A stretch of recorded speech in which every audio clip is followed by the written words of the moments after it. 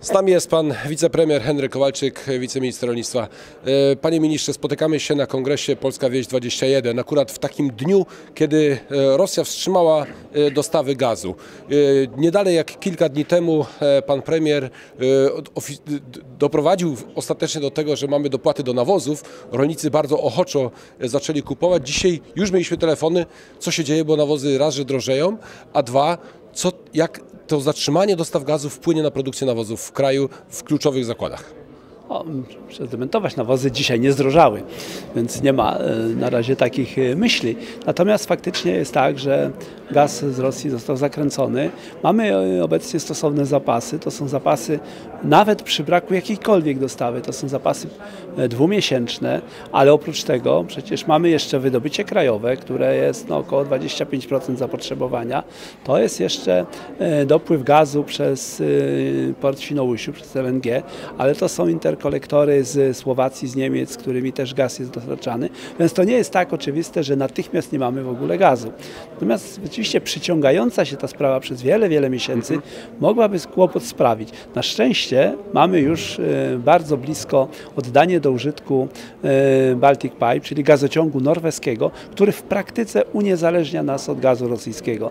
E, Można by powiedzieć, ten gaz Baltic Pipe to jest 5 po 12 albo za 5 12, nie wiem. W każdym razie no rzeczywiście Czy tak naprawdę możemy rolników uspokoić, e, nawozów azotowych nie zabraknie i nie powinny drożyć. E, No, z, z cenami to różnie bywa, bo na rynkach światowych gaz jest wyceniany. To nie jest tylko gaz, który sobie e, ustala PGNiG czy, czy jakikolwiek dystrybutor, e, ale myślę, że one już się jakoś tam ustabilizowały. Niestety na wyższym poziomie, e, to trzeba jasno stwierdzić, więc ten okres przejściowy dofinansowujemy, ale myślę, że będzie ta stabilizacja na przyszłość, więc myślę, że rolnicy tu mogą spać spokojnie, czekając przede wszystkim na otwarcie gazociągu Baltic Pipe, bo to daje taką perspektywę już długofalową bezpieczeństwa gazowego. Rolnicy, e, oczywiście, żeby skorzystać z dopłat do kupionych nawozów, mają czas do 16 maja. Czy to jest to termin ostateczny, czy mogą liczyć na to, że będzie on jednak wydłużony? E, Poleciłem pracę nad zmianą tego rozporządzenia, żeby wydłużyć termin do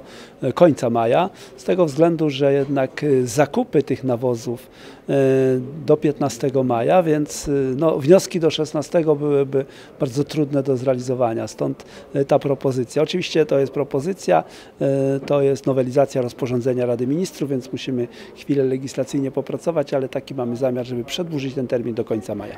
Dziś na kongresie bardzo dużo rozmawialiśmy o tym, żeby rolników włączyć w produkcję energii odnawialnej i żeby wreszcie zacząć realizować rozproszony model produkcji e, energii także na terenach wiejskich.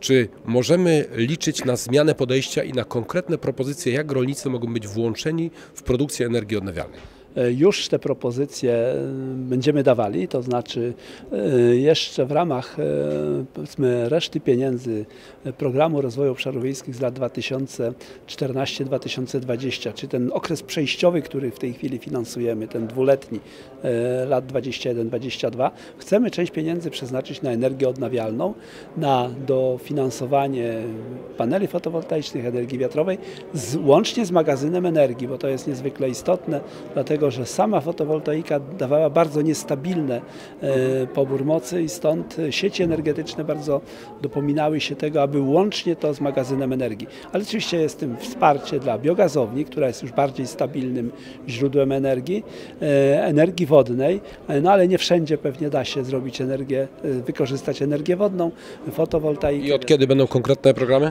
Myślę, że te wnioski będzie w tej chwili jest, pracujemy z Komisją Europejską nad zmianą e, programu rozwoju obszarów wiejskich i myślę, że wnioski powinny być sierpień, wrzesień już dostępne, jeśli chodzi o e, energię odnawialną. Bardzo dziękuję panie premierze. Dziękuję.